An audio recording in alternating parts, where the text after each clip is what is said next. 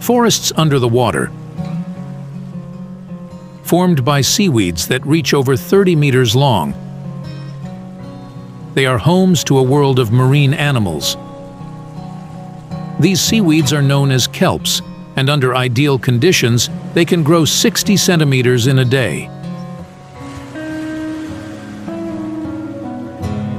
Sea otters are probably one of the most useful species in these forests because they eat sea urchins that destroy kelps. When sleeping, they wrap themselves in kelps or hold each other's hands to avoid drifting away.